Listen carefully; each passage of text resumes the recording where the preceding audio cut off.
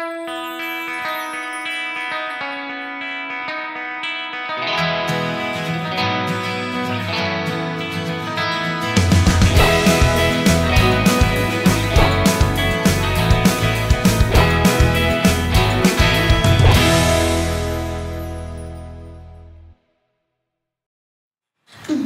passable that. Very possible bit of risotto. Nothing like a glass of Chateau de Chassemal, Josiah. You are right there, Obadiah. Who would have thought a year ago we'd be sitting here enjoying a glass of Chateau de Châtelet, eh? Oh, it's been a strange old year, that's for sure. Never seen one stranger. Strange way to end our time here, that's for certain. Locked down for a whole year. Lockdown. Nothing to eat but takeaways. Takeaways? God, I would have killed for a takeaway. Best we have is a dry piece of pasta we queued outside Sainsbury's for for three old days. You were lucky. Oh, we used to dream of a dry bit of pasta. We spent every night eating the scraps of biscuit and pedigree chum left over by the dog. But we were happy, though we were locked down. Because we were locked down, my old dad used to say, freedom doesn't buy you happiness, girl. He was right. Oh. I was happier then, and I had nothing. Nothing? Didn't you say you had a dog? God, dog, I would have killed for a dog. Reason to go out in public without persecution from the police or judgment from the neighbours. Well, I say a dog. It, it was more like a rat that we found in a drain pipe in the garden that we dressed up like a dog, so we had an excuse to go out for a walk. A garden? I would have killed for a garden. We had a two metre by two metre um, yard behind the kitchen that all nine of us would have to cram into just to get a glimpse of the sun. You were lucky to have a yard, babes. We just had a window box on the top floor that all 26 of us would squeeze onto, petrified of falling to our deaths, just to spend some time outdoors. And half the window box was missing. No, I would have killed for a window box to sunbathe in. Nearest we had to natural light was a crack in the attic. All 39 of us would go up there for five seconds a week and then be sent back to the cellar, eating nothing but brown rice and tea. Hot tea. Yeah. You were lucky. All we had were mugs of cold tea, with no milk, or sugar, or tea. Oh. And the teaching. Oh. oh, Oh, my parents, right, they used to get me up at the crack of dawn and threaten me if I even had a dream of interrupting them in their meetings. And then, at night time, at midnight, they'd chuck me back in my bedroom, lock me up, and give me a, a piece of cold mackerel and a, a slap across the face for using too much bandwidth. Shut up, you were lucky. My parents made me stay 12 months in a paper bag in a septic tank, and I'm claustrophobic, Obadiah. I used to have to get up at 3 in the morning, clean the paper bag, eat a sour crust of bread, go work on Zoom 16 hours a day, week in, week out. And when I finished for the day, our dad would thrash us to sleep with his belt for making too much noise in the music lesson. Oh my god, girl, you were lucky. I used to have to work a 20 hour day on Google Classroom. No breaks, no co curricular activities, literal or otherwise. Write 20,000 word essays each teacher, each lesson, and then mark the work myself. All before my mum would lock me in the car boot of a Range Rover for daring to interrupt her to ask for help with my physics coursework while she was doing her yoga session. Right. I had to get up at 10 at night, half an hour before going to bed, down a cup of sulfuric acid, work a 29 hour day on Google Classroom and Microsoft Teams, which the school didn't even use, all before doing the kids' homework. And then my mum would kill me and my dad would dance on my grave and sing Hallelujah, all because I'd watched the Queen's Gambit the previous night. And you tried telling the young people of today what it was really like living through lockdown. They wouldn't believe us. They wouldn't, babes.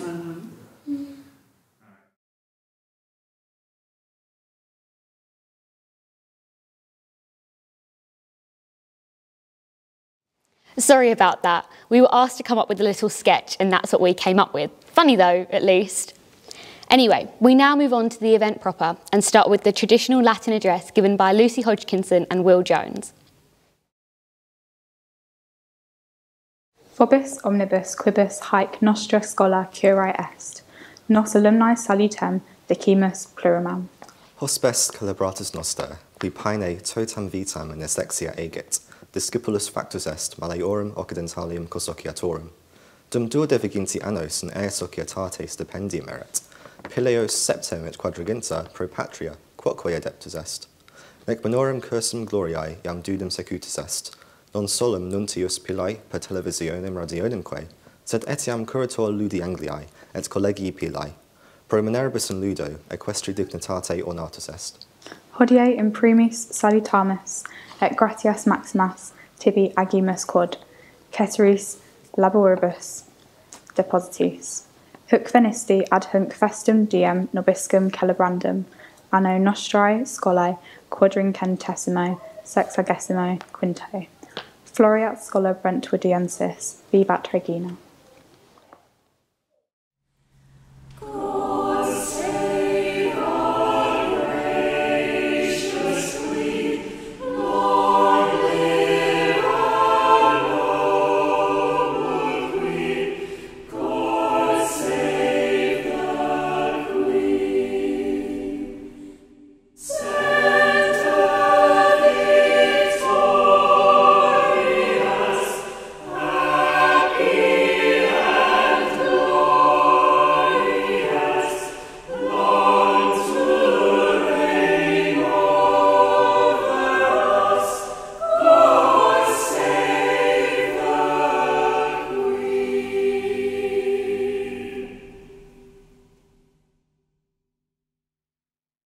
Good evening, my lords, ladies, gentlemen, and pupils. Or maybe good morning or good afternoon, depending on when you are watching this. Welcome to our 464th Speech Day and Prize Giving. I think we had all hoped that 2021 would see a return to our usual arrangements for this event. But whilst this has not been possible, we are pleased to bring you our second, hopefully the last, virtual speech day. I would like to begin by thanking all those who have been involved in putting it together. It is customary for me to thank my fellow governors on this occasion, and I have been particularly grateful to them over the past 12 months for the way they have continued to support the school from a distance. We have not missed a single meeting as a result of the pandemic, and it's fair to say we've all learned a lot about the wonders of modern technology. Governors have even observed lessons and done virtual learning walks with the help of Zoom and the willingness of our teachers and students to let them into their lessons. It was, however, a great pleasure to host our first in-person governors meeting for well over a year, a week or so ago, and to be back at the school. I first became associated with this school as an 11-year-old boy. I would particularly like to thank Bob McClintock, our Vice Chairman of Governors, and the chairs of our various committees for their significant investment of time and their wisdom and expertise as we have continued to steer the school and support the leadership team. This year, we welcomed Jason Fergus and Sharath Jeevan to the board. Jason is Director of Active Essex, one of the biggest active partnerships in the county and lead officer for Public Health Essex on physical activity. He has been involved with a number of significant sporting events in the region, including the London 2012 Olympic mountain bike competition and the Tour de France route through the country in 2014. Sharath is an old Brentwood and an entrepreneur who served on the steering group of the Education Commission set up by Gordon Brown and founded STIR Education, which has supported over 35,000 schools across Southeast Asia.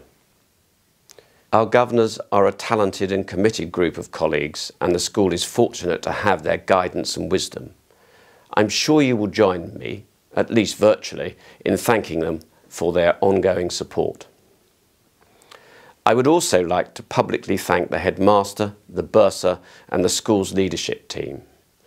Since March 2020, they have had to move the whole operation of the school online, reopen the site safely in September, with all that that involved, move online again in January, and then reopen again in March this year.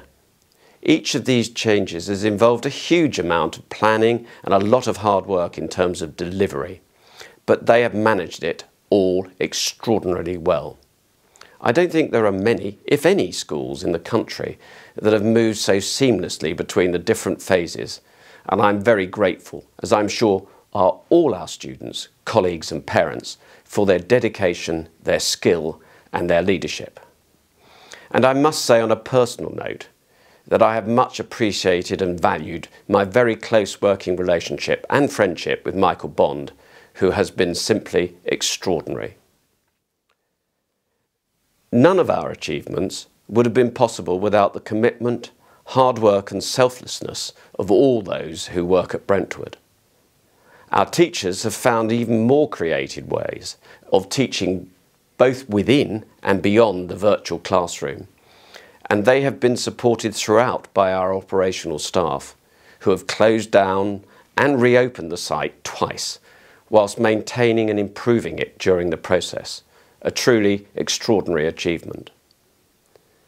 This time last year, we were looking forward to the opening of our new prep school buildings alongside the extensive refurbishment programme being undertaken. I'm delighted to report that despite the additional challenges presented by the pandemic, that work has been completed and we now have a prep school with facilities that few can match. We have also continued to invest in the senior school site. We took advantage of the first lockdown to replace the whole of the main school roof. And Courage Hall has benefited from a major internal works programme that has seen the whole building painted, lighting improved and ceilings replaced. The cricket pavilion has been renovated and updated and is now being used both as a modern staff room and a place for us to host guests as sporting fixtures and other events return post COVID 19. This has allowed us to bring teaching back to schoolhouse with the creation of three classrooms that will be ready for the start of next term.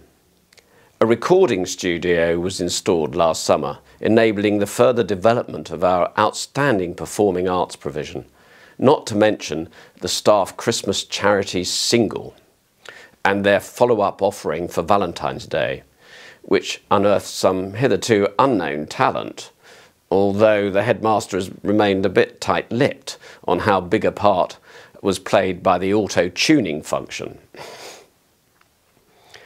We continue to plan for the future to ensure our facilities and resources support our ambitious long term vision and strategy for the school.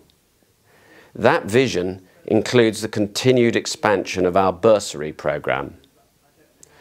The pandemic may have temporarily slowed the work of the Foundation, but it has not dimmed our ambition to provide funding for current and prospective students whose circumstances would otherwise mean that a Brentwood education would be out of the question.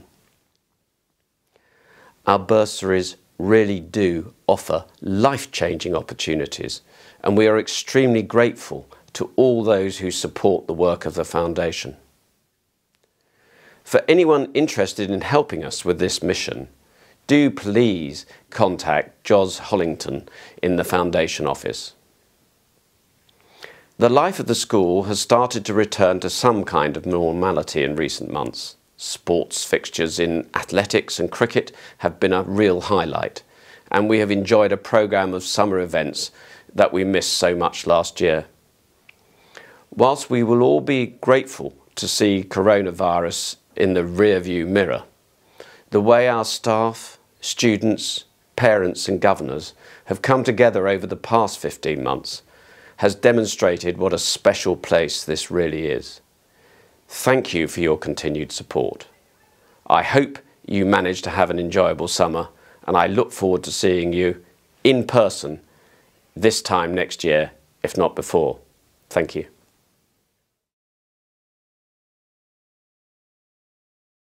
Earlier in the year, we put together a video highlighting the positives of the first year of living and learning through the pandemic.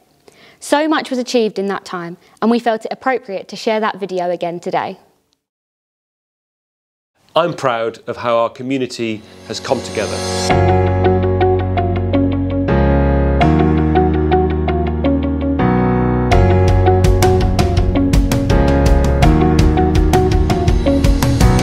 I am proud that I didn't let lockdown affect my academic progress.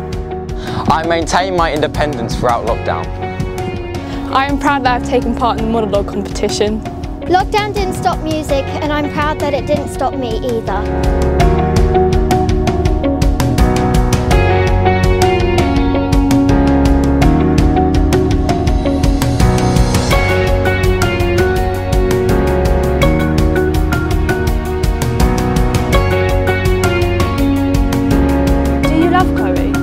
I'm 17. I'm emotionally incapable of feeling love.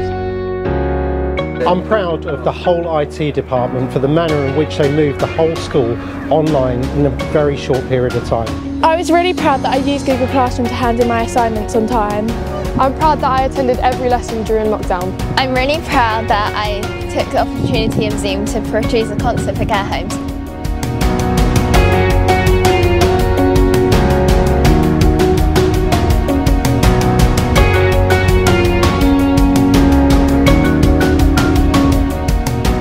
I'm really proud of the way that the whole school community responded to the challenge of doing the mass test.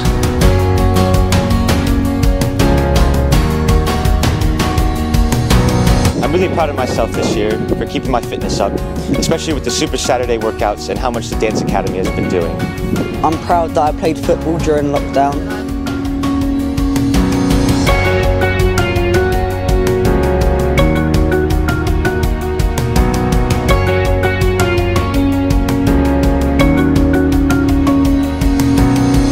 To have been able to take part in co-curricular events, including the virtual field day that CCF ran. I'm proud of our first ever live stream Act of Remembrance service.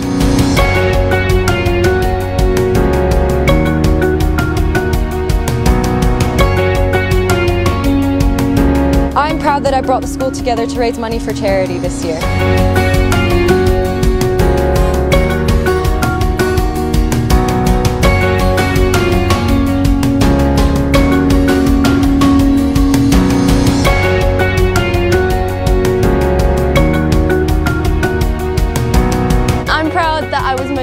Enough to redecorate my room. I'm proud that I started a magazine for academic enrichment.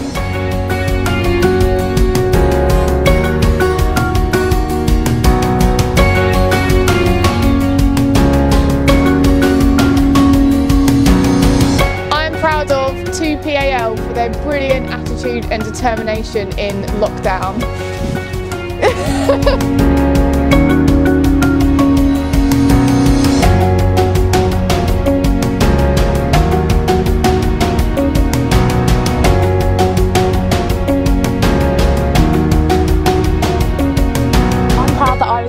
help younger students with their well-being. I learned how to read and perform Shakespeare. I'm proud I could take part in loads of virtual music. I learned that if you dye your hair too many times in lockdown, it falls out. I'm proud of my maths result over the end of year exams. I'm proud that I maintained and improved my hockey skills over lockdown. I wrote and recorded the guitar parts for a brand new musical.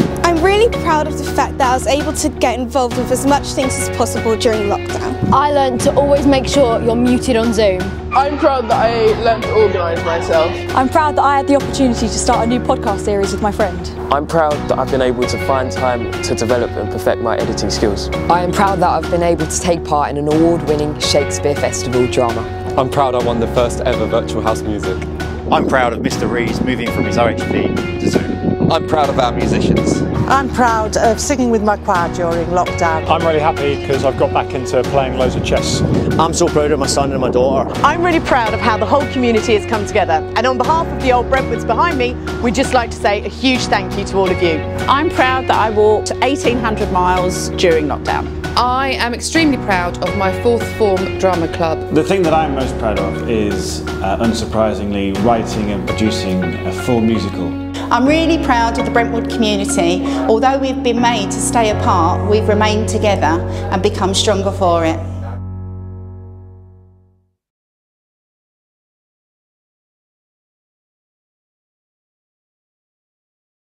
As Sir Michael has said, we hoped we would be able to be together today for our usual speech day event, but the uncertainty around whether large gatherings would be permitted has meant that we're back online for the second year running, hopefully for the last time.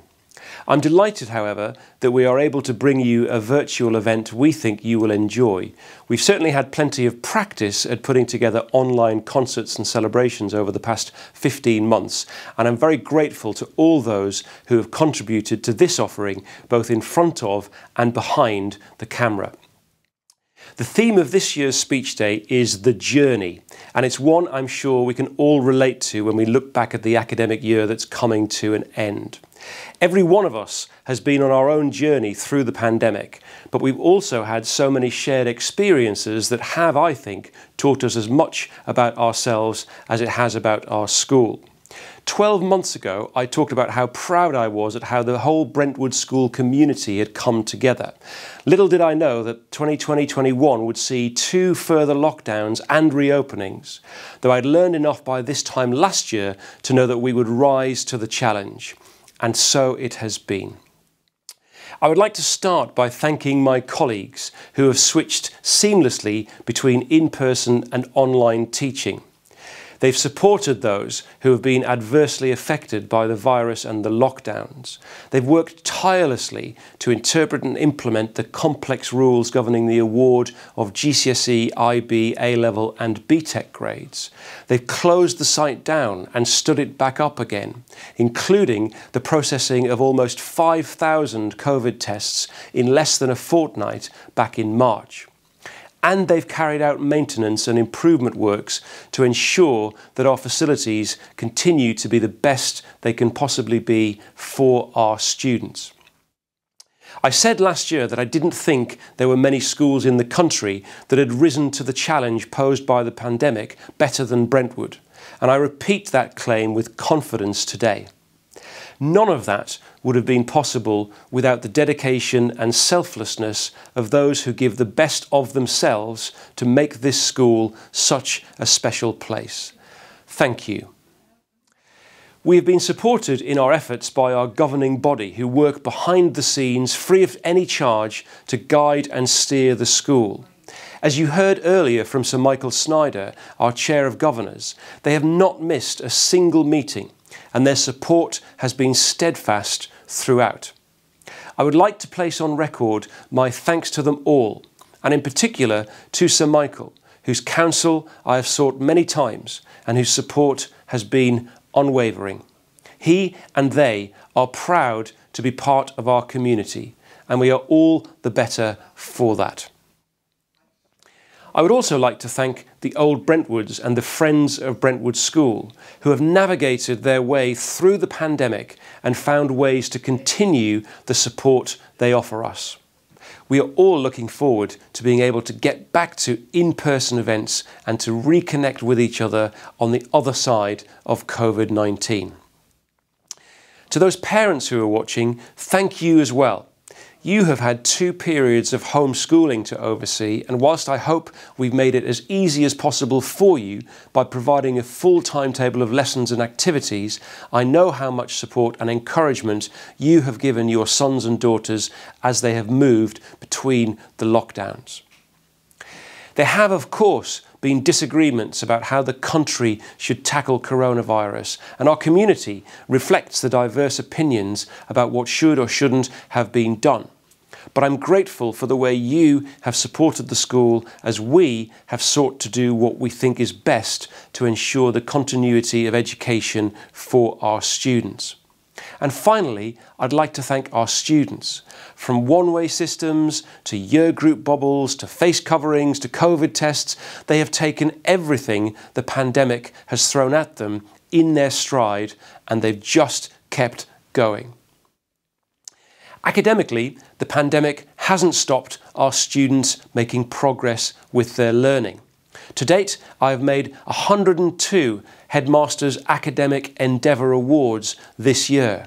Five of our students will be heading to Oxford or Cambridge next year, and nine have been offered places at international universities, including fully funded scholarships at Yale and Harvard. Our first cohort of BTEC students have also completed their course. Three of the four students have accepted places at Durham, Bath and Exeter universities, and another is about to start work as a junior broker. One of the great strengths of Brentwood is the fact that, unlike most independent schools in the country, we now have three very successful sixth form pathways the IB Diploma, A Levels, and BTEC, all of which offer a route to success for our students. Attendance at our Saturday sports programme during the Michaelmas term, when we were unable to play against other schools, remained high, and our students made the best of our internal fixture programme. During lockdown, we had a regular cohort of students and parents who turned up for our Super Saturday workouts, and we've all thoroughly enjoyed the return to competitive sport in recent weeks. Our music, drama, and dance departments have continued to keep everyone's spirits up. Our socially distanced concerts in the Michaelmas term made us all realise how much we'd missed live music. Virtual Music Land Part 2 was delivered with as much gusto as its predecessor, and we even premiered our own original performance, Lockdown the Musical, featuring some of our many talented actors and musicians clubs and societies, including our CCF and voluntary service activity and our Duke of Edinburgh Award programme, have continued to help students develop new skills and an understanding of their world. And our charity work has continued with ever more creative ways of raising awareness and funds to support our worthy causes through our house system. The future remains bright for our school Despite the operational challenges posed by coronavirus, we have continued our work behind the scenes on the long-term strategy we wrote in 2019, and we look forward to saying more about that next year. One early outcome of that work is the formal partnership we've now established with the Guildhall School of Music and Drama that will see increasingly close links develop between us. We will be pursuing our ambitious plans for partnership with other organisations as the pandemic recedes. As I mentioned when I began my address, the theme of today's event is the journey. And I'd like to end by borrowing the words of John Roberts, one of the nine US Supreme Court justices, who was the guest of honour at his son's graduation from middle school in 2017.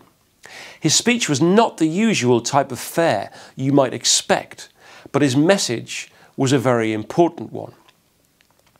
Here is an excerpt from his speech. From time to time, in the years to come, I hope you will be treated unfairly so that you will come to know the value of justice.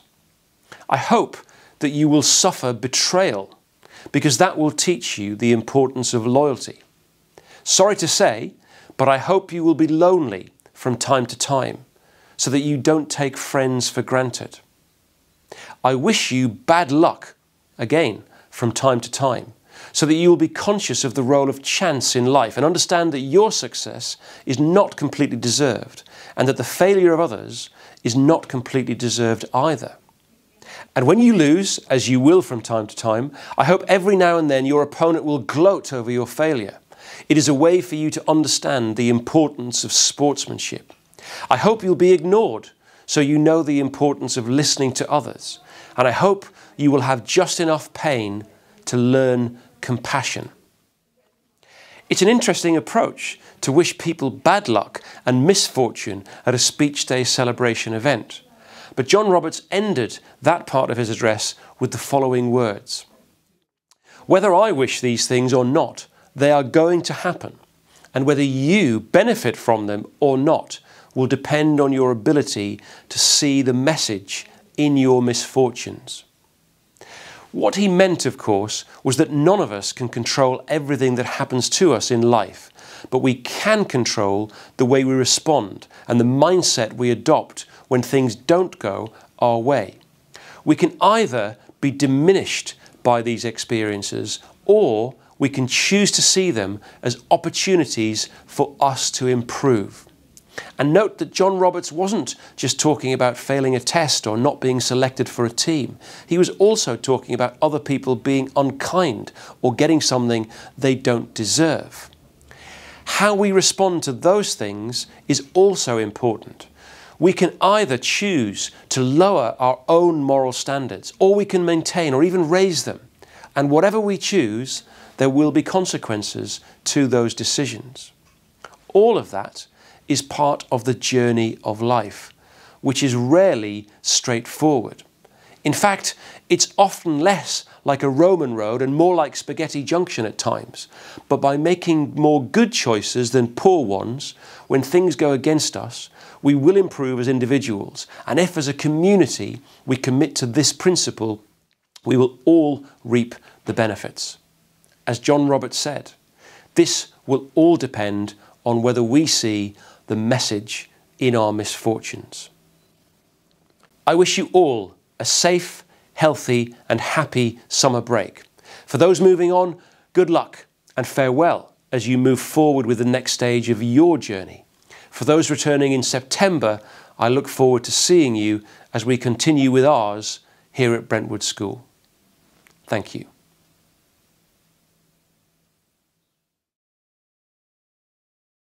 In what has been an extraordinary year, it's wonderful to be able to celebrate the successes of all our students across the school. Congratulations to everyone for all your hard work, for your support of each other, for your own achievements and those of your year groups, and for the resilience, courage and kindness you've shown this year. Moving to the formal prizes, in the first to fifth year, Form Achievement and Endeavour prizes are awarded to individuals in each form group. Subject prizes are awarded for outstanding achievement in a range of disciplines, including music, drama and the performing arts, science, technology, English, modern and classical languages, and art. Additionally, for each year group in the fifth year, there is a prize for all-round contribution to the school.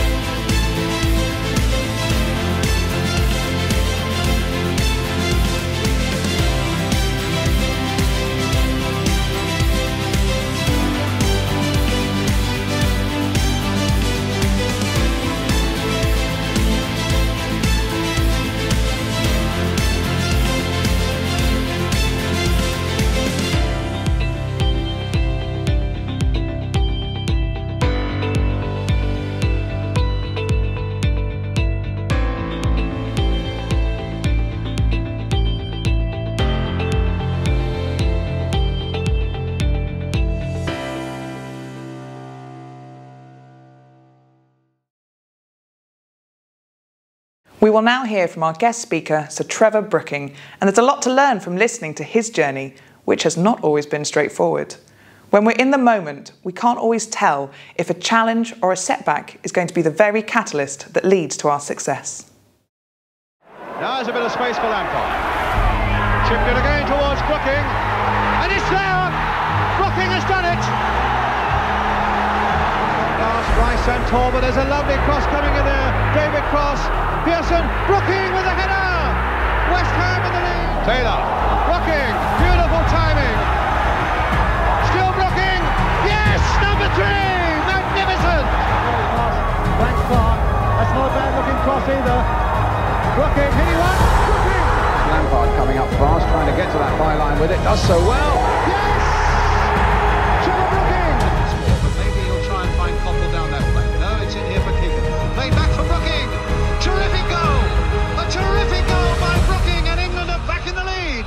Look at the ball caught up in the corner there. Yeah, hi, I've lived in uh, Brentwood now for over 40 years. Been lucky enough for my two children and grandchildren to go to uh, Brentwood School, where they've been really happy and I think uh, I've learned a lot. More than anything, my own schooling was a bit different, I've got to say. Uh, I lived in Barking uh, up until 11, and then I went to Ilford County High School for boys, and uh, up until about 15, things were ticking along okay, and then I had to start making decisions. Um, the football scouts came along and a lot of clubs invited us to actually join a club for three years as an apprentice and the school leaving age of course then was that year younger so I, I would have left without taking any GCSEs and so forth. Mum and dad weren't too pleased with that. They wanted me at being at a grammar school to stay on, take my GCEs and perhaps sign for a club for two years and that's what I did. Uh, when the clubs came round, it was sort of May, June 1964, and uh, I happened to be in the England schoolboy squad. There were 16 of us in there, and um, I played one game against Germany, but the other three or four I was on the bench, and we were finishing up with a trip to Northern Ireland.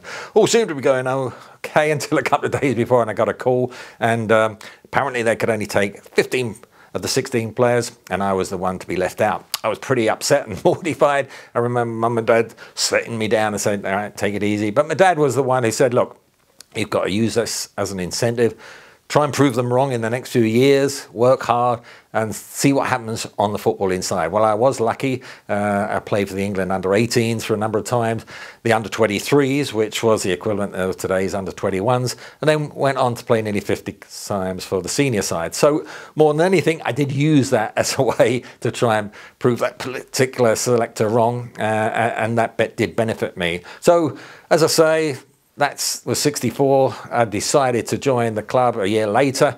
And in 65, when I did, actually, I spoke to the club, and my mum and dad said, Can we get a day release East Ham College? Which I did. So I went there one day a week for the next couple of years.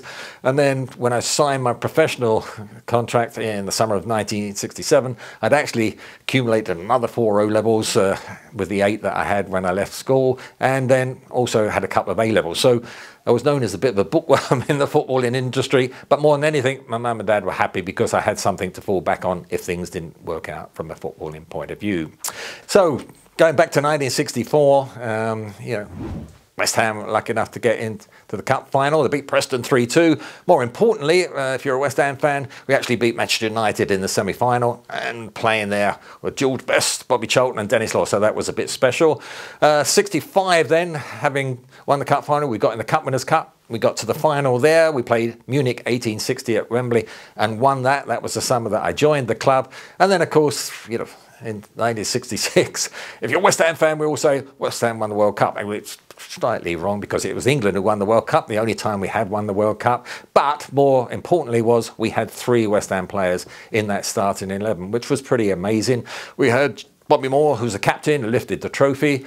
The hat trick man in the final when we beat Germany 4 2 was Geoff Hurst, the only time anyone scored a hat trick in a World Cup final. And the other goal was scored by Martin Peters, the other hammer. So you imagine a month later when we all went back pre season, the number of media people broadcasting people was massive. As a young player, to watch all this happen and see these three World Cup lads was special. And certainly for the next year, training and playing with them, I learned a lot. And building up to 67, uh, I signed my professional contract. Then, uh, two or three months later, I was lucky enough to be offered my first team opportunity. Uh, Ron Greenwood approached me and he said, always liked us to play away from home in our first team debut rather than put us under pressure in front of the home crowd. So we went up to Burnley, who were a good side in those days. We had a good performance. We drew 3 3. Even more special, though, was our goal scorers. And yes, you've guessed it, our goal scorers were Martin Peters, Geoff Hurst, and Bobby Moore amazing because Bobby didn't score many goals. So for me, in my debut, to have the three World Cup lads score was special and something, you know, I remember for the rest of my life. I then had 17 years ahead of me at the club. Um, certainly 75, we won the FA Cup. Uh, we beat Fulham 2 0. Who was playing in the opposition? Yeah, Bobby Moore. But three years later, a bit of a low because we ended up getting relegated. Um, we went down, we were hoping to bounce back within one year, but six games to go. We were in a little bit of contention. I injured myself, missed out the last six games, and we didn't go up. I felt uh, a little bit awkward. Should I leave at this particular time? Should I go and get transferred? No, I'm going to give it a go. John Lyall said he was hoping to get two or three players in that would strengthen the team. We did get them in, the likes of Phil Parkes, goalkeeper, Alvin Martin at central defence, Alan Devonshire in midfield, but they came later in the season and we didn't quite able to get into a league position that would get us promoted. But what we did do was an FA Cup. Um, we had a great run.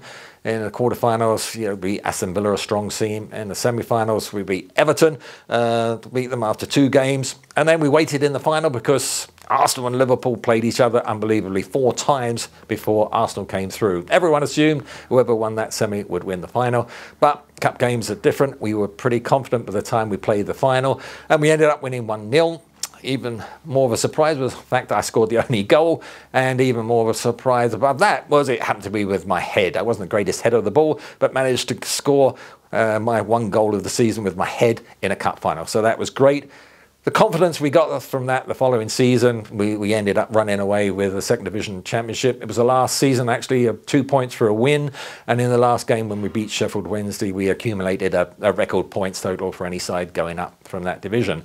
We then ended up three years, you know, in the top flight, and sort of summer of '84. Uh, I was coming up to my 36th birthday. The legs were beginning to feel a little bit tired, and uh, I thought to myself, what am I going to do in the future? That's when I've got to say, what I did educationally, staying on, you know, doing my GCSEs and then going to college, put me in good stead because I was offered a 18 year spell at Match of the Day, BBC Radio for 18 years, talking about the game. And then two years after I packed up playing in 86, um, Eastern Region, the Sports Council came to us to see if I would become chairman in the Eastern Region, which was Essex and five other counties. I said yes, so I started doing that for a few years, got on the National Council, and then actually became well, as chairman and then chairman of the Sports Council. And the time was great because this was 1998, and that's when the National Lottery came. I say it was great because up until then, the whole of sport in this country had 60 million to spend, but suddenly we had over 300 million extra. So we sat down and thought, how are we going to spend this money? So we decided, look, let's identify the best specialists in the different sports. Let's fund them for the next two years. And then when we go to Sydney, Australia, hopefully they'll produce some medals that we've never seen before. And that's what happened. We went out there. I was lucky enough to spend the time there and we won more gold, silvers uh, and bronze than ever before. That really has been a cycle now for every four years where if you look at us, we've added additional sports as well, where we are particularly strong in, you know, competing at that level. I left after about two years, 2002, and then for a year tried one or two things, and then suddenly who came knocking at the door was the Football Association. They'd watched us during that period of time. I, have been quite critical on the TV and radio about the style of football that English clubs were playing. They were whacking it long ball, looking for throw-ins, long throws, free kicks, and bypassing the midfield that I used to play in myself. So uh, as they came to me, the Football Association, they said, can you get us playing a bit better technically, playing out through the three thirds, the back third, the middle third, and the attacking third, and really changing the coaching courses that we operate in. We did that for a few years. We were quite successful. The one frustration was, did we have a hub site that we could work from? Uh, we'd been rejected twice, but then in 2010, uh, amazingly, we got it over the line and they agreed to actually build the National Football Centre and uh, up at Staffordshire, and that's St George's Park. The opening of that in 2012 really was the turning point, I think, for football in this country. I spent a couple of two, two or three years appointing the right people, I thought. And a key one, of course, was probably Gareth Southgate, who lived up in Yorkshire and was quite happy then to operate out of St George's Park. And he then became the under 21 manager downwards, so 20s, 19s, 18s, 17s, 16, and got them playing the way that we wanted to play. I then left in about 2015. I've watched on the sidelines Probably 2017 was the one year which showed the progress we were making. In 2017, uh, the 17s with the likes of Foden and Sancho, they, they won the World Cup, beat Spain 5 2. The 18s won the Toulon tournament. The under 19s won the European Championships. The under 20s won the, uh, the World Cup. And then the under 21s actually got knocked out in the semi final uh, to Germany. But we had five years of talented youngsters coming through, which were obviously going to provide uh, the England full manager with a good supply of players. Gareth, of course, took over that, and as we sit here now, we've got a big tournament coming up where hopefully, you know, we do well. But it was always a 10-year plan, and 2022 was the time that I was waiting. Have we got the players coming through? And the answer is yes. So, from your point of view, you know, as you receive your rewards today, I'd like to congratulate you. You've worked hard but you're going to be leaving school soon. And what you probably learned, hopefully, from listening to me is life is a roller coaster. When you leave here, you're going to have your highs, your lows, frustrations, disappointments. But the important thing when you get the disappointments is probably to try and make yourself bounce back that much quicker. Be strong, accept those disappointments, go get down because then it'll be harder for you to come out of them. So, as I say, well done to the recipients today. But more importantly, in the future going ahead, you know, I wish you all the best and work hard. And now, the sixth form prizes. Prizes in the sixth form recognise exceptional commitment and dedication in the pursuit of excellence, whether academic or in our ever ambitious co curricular programme. The attributes students have acquired in our sixth form mean they are prepared for future challenges and successes.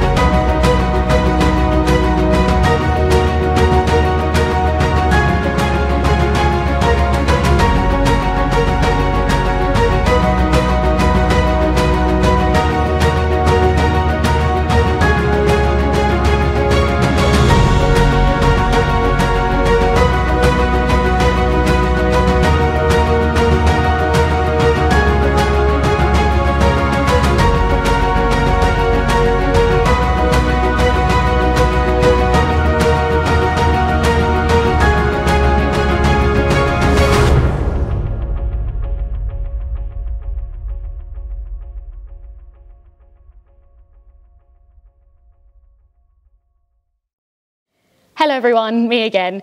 Thank you for watching our speech day today. It's a Brentwood tradition for this event to take place and I'm pleased to be able to take part, albeit virtual.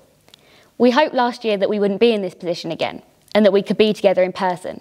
Yet this is just a testament to our school community, being able to pull together again throughout multiple lockdowns.